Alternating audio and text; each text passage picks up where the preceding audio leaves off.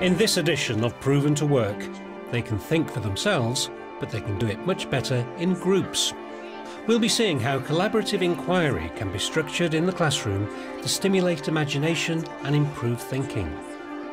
We'll also be hearing from one of the country's top experts in education research, who will tell us why it's proven to work.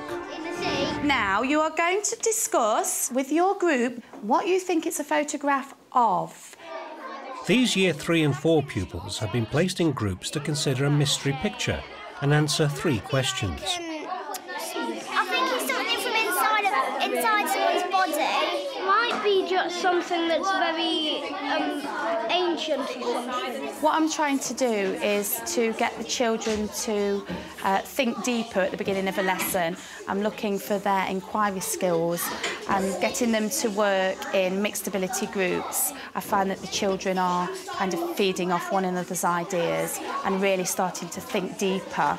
Can you just jot down your group ideas about these three questions? Is it the inside of a jellyfish?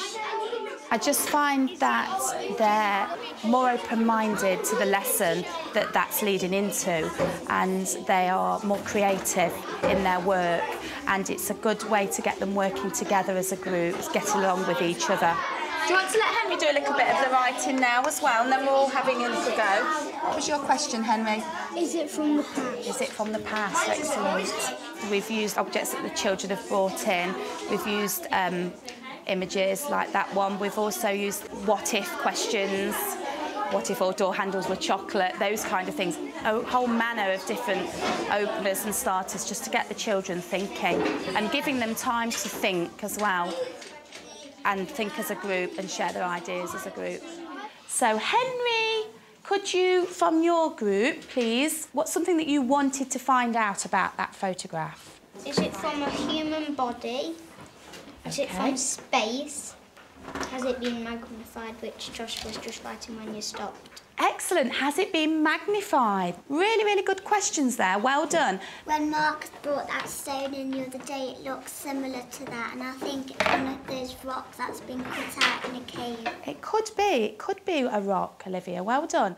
The lesson is bringing together two processes, which could also be used in secondary schools, according to Philippa Cordingley, Director of the Centre for the Use of Research and Evidence in Education.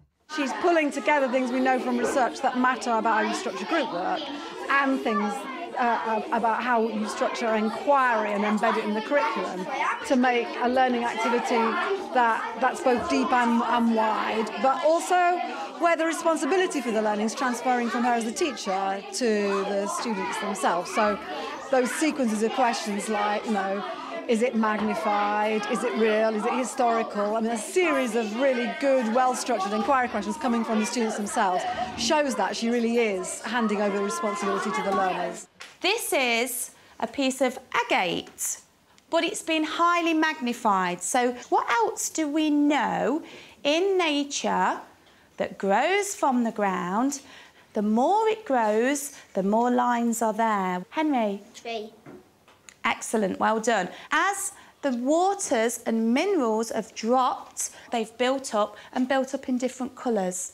She's obviously been teaching this, these, this class to work together in groups this way. Uh, she says she's using these starters regularly to keep that kind of thinking going, and then she's able to, to build on that sort of springboard she's made to use in different and ever more demanding tasks. So she's kind of got a foundation of inquiry skills and group skills that then means she can add to the demand each time.